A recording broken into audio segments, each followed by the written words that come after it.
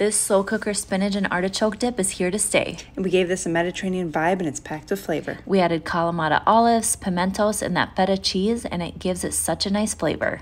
And then cover it, let it cook until it melts, and give it a nice good mix. And dip, baby, dip. Yes.